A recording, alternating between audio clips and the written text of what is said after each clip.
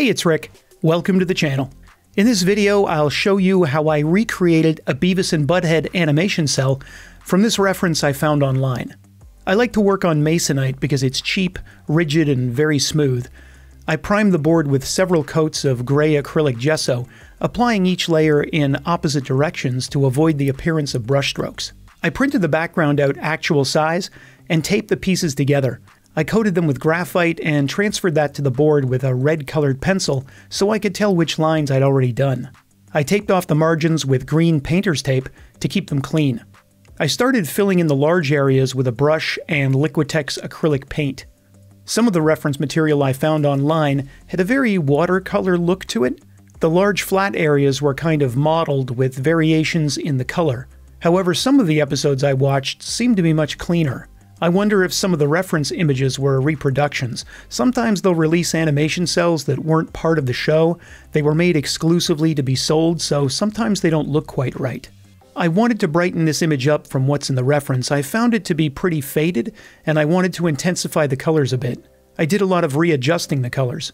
I had considered airbrushing the whole background to give it a very clean look, but I thought it wouldn't come out right. The original stuff looks very hand drawn with no real straight edges the kind of look you can only get doing it by hand. You'll see me resting my hand on a maul stick in many of these shots. This one I made myself. It's just a wooden stick with a styrofoam ball on one end, wrapped in some soft leather. It keeps your hand off the work, so you don't smudge wet paint and you don't get any oils from your hand on the illustration. Here I'm correcting the blue sky outside. In the reference, it looks dark out, but I decided to make it a daytime scene. I think it's even more depressing to be working fast food when the weather outside's beautiful and sunny. My first experience with Beavis and Butthead was at the Sick and Twisted Cartoon Festival in the early 90s. It was a show playing at a small theater in Toronto. The show was a collection of wild and diverse animations, with the Beavis and Butthead piece being an animated short film called Frog Baseball. I think this was before it was on MTV, maybe 91 or 92. After completing all the flat colors of the background, I can move on to the line work. I mixed up a very dark gray, but not black. I don't want the background to be as intense as the line work of the cel. At first I tried a dip pen, but that didn't work well. I had to press too hard to get the line weight I wanted, but it was damaging the acrylic paint. Next I tried a rigging brush. This is a long skinny brush originally used to paint the rigging on sailing ships. I struggled with that as well. I found it very difficult to get a consistent line weight.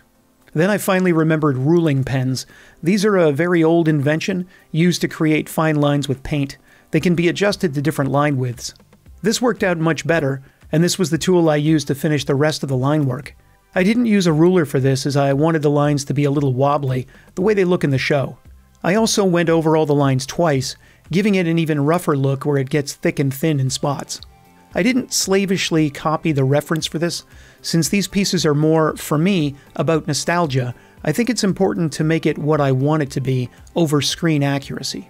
I wanted to introduce a little bit of that splotchy finish to the piece in a few areas, so I used this watercolor technique where I coated an area with clean water and dabbed a dark gray into it.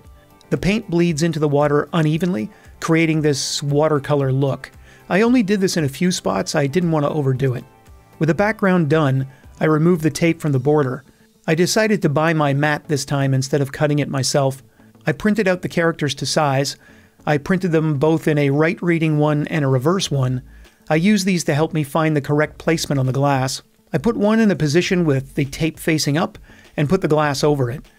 When it sticks to the glass, I can flip it over and line up the reverse image on the other side, then I'll flip it back again and remove the one from the other side. I clean the glass well, first with a razor blade to remove any bits, then with acetone. It's important that it be perfectly clean now because I won't be able to clean it after the cel's been painted on. I'm using a technical pen with acetate ink to do the line work. It's the only thing I have that's effective on glass and won't be dissolved by the paint I'm going to be using for the color. I'm resting my hand on the maul stick again and using gloves to keep from getting smudges on the glass. This is the most stressful part. It's tough to keep dust and dirt off the glass while working on it. If it's not perfectly clean when you assemble it, any dust or smudges will stand out like a sore thumb. I've had cels in the past I had to disassemble and clean after the fact because one little speck of dust would draw my eye and it was driving me nuts. It's pretty easy tracing the characters out this way. You just have to be sure you're looking straight down on the image. The thickness of the glass can cause a parallax error if you're not careful. I do the painting on a light box. This helps me make sure I don't miss any tiny spots and then I get an even thickness of paint. If it's too thin in spots, you'll notice it in the final. It's too dangerous to try to do two coats because the new layer can soften the dry layer underneath and cause discoloration and splotchiness, something I learned the hard way. I use Testors model enamel for these. At the time of editing, I think there is only one company still making cel vinyl paints, and they're in England, but I could be wrong. The Testors paint I can get at any local hobby shop. Some of the colors I had to mix custom since I couldn't find an exact match. This brown for Butthead's hair was one of those. The only brown Testors had was way too dark. What I'm doing here is flooding the paint on. My brush is soaked with paint and I'm sort of dropping it onto the glass and moving it around with the tip of the brush, rather than bending the bristles down onto the glass. If I press too hard, the line work might get smudged or removed entirely. I do all the areas of one color at a time, putting a small fan on it to dry them quickly. You can do several colors at once, but not ones whose edges butt up against each other. If they're both wet, they'll bleed together. I've experimented using different materials for the line work and the color fills, but I always had problems. If I use acrylic for the color, it tends to lift the line work, plus it comes out splotchy. I've got a long list of these I'd like to do Ren and Stimpy, the Pink Panther, Akira, I think I'd like to get more experimental with these, creating new scenes or maybe mixing up the styles. Blue is one of the more difficult colors. For some reason, it likes to create swirls as it dries, like the pigments are separating, so it needs to be dried quickly. I also had to mix a custom red, as the only one I could find was just too vivid. I use these little glass vials I got off Amazon to mix the paint in, and then I can keep them for future cels. I don't know what's in that container Beavis is offering Butthead. I guess it should be fries, but it looks more like worms. Once I finish the cel, it's time to assemble. I put a towel down on my desk to protect the face of the frame. This is an oak frame I got from Michaels, but I had to paint it black with a can of spray paint. I lay the first piece of glass in, then the matting, then the cel, then the background. I hold all of this in place with glazier points. They're a little flat pointy bit you drive into the frame with a screwdriver and a hammer. Then I put a piece of metal wire through the eyelets. And here's the final result. I'm pretty happy with how it came out. Well, that's it for this one. I hope you got some inspiration out of this. Don't forget to hit all the buttons on the way out, and thanks for watching.